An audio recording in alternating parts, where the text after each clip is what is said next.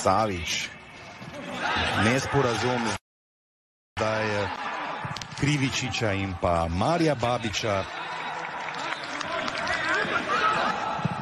Ali pa so le možnosti za kakšen remi vse skupaj. Slaba ideja, slaba poteza Anjoletija, ki pa obeta zdaj nov napad Olimpije, Savič. Lažje dihajo. Vse je še odprto danes na tem obračunu med devetim Triglavom in sedmim taborom. Seveda pa še naprej točkovna, visoka točkovna prednost na lestvici ob tem rezultatu.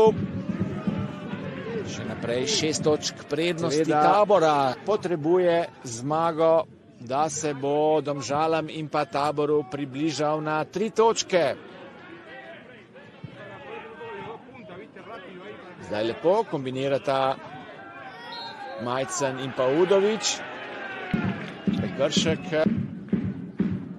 Milan Milanovič je zadel tudi na zadnji tekmi tukaj v Kranju proti Olimpiji. Takrat je izenačil. Ali bo prišlo do preobrata v režiji domačega moštva in pa Čiri. Čiri je podal v sredino. Še naprej pa napada Triglav. Majcan lahko sproži. Blokirali so ga nogometar Triglav v naslednjem krogu. Gostuje v celju. Celje akcije odličnega Bongongija. Na koncu je Babič zakompliciral situacijo in naslednjem bilogu.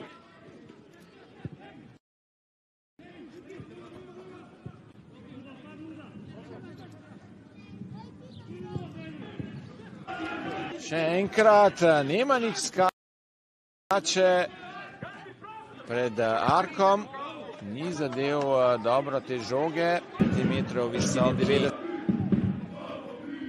strelec danes edinega gola za Triglav. Bongongi stekel je iz Krka v sezoni 2013-14. Oba sta si zagotovila obstanek, klub, ki pa je v Gorici krat igral.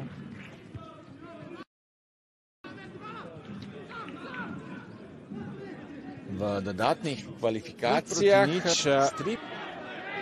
za Gorence je igral takrat tudi Luka Majcen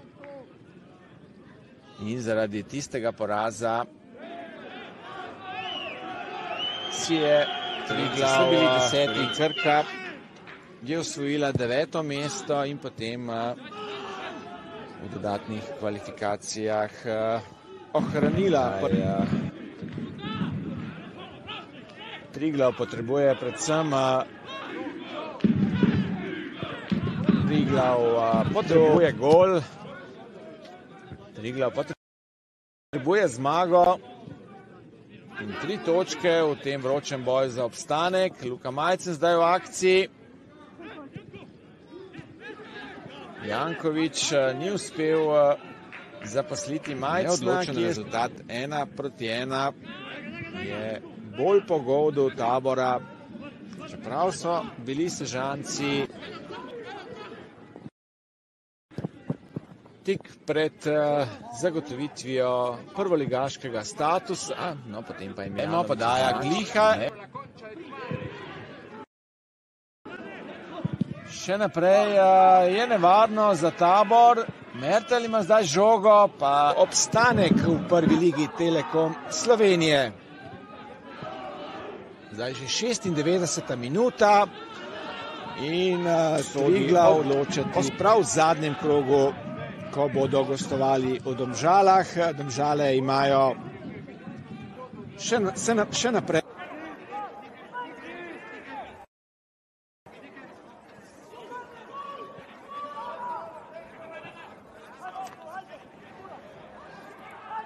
Drugo uvrščena ekipa torej potuje v Ljudski vrt v naslednjem krogu k vijoličastim, na to bodo Mari Borčani igrali tekmo na gostovanju proti Ljubljanskemu Bravo. Ja, tudi ta tekma daleč od lahke, kajti tudi Bravo bo želel igrati, Aj, pa tudi Fanče postajalo vedno bolj in bolj Maribor.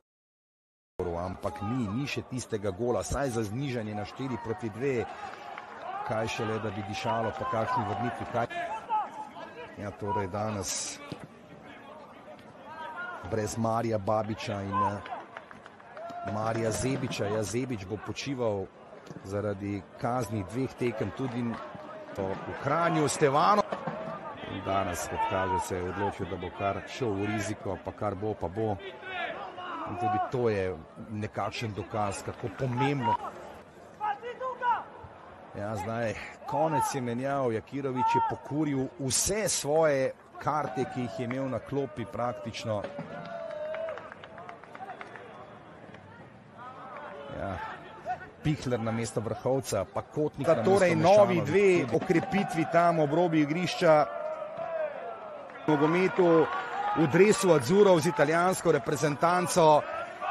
Zamenjal ga je takrat v 87 minuti nihče drug kot veliki Alessandro Del Piero, njegov soigralec pri Juventusu takrat.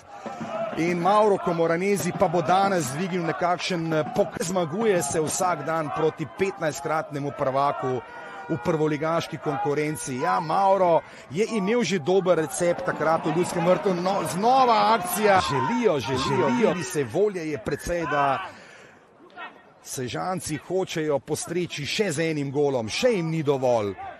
Mislil, to bi se ja takole ko nekako malce debatiraš s kolegi in uh, iz uredništva, športnimi kolegi, kaj pravijo, pa nekako, ja, če bo danes padel remi, bo to že velik uspeh. Ampak res, da v sezono niso vstopili obetavno, to po koronsko mislim. Da bo v igro. Da bo to v igri lahko storil Lukas Pitinari, Babič.